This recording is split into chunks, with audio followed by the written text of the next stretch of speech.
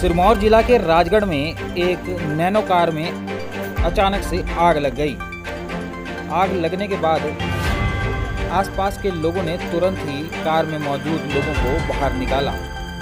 गनीमत ये रही कि समय पर सभी लोगों को बाहर निकाल दिया गया और इससे कोई जानी नुकसान नहीं हुआ है।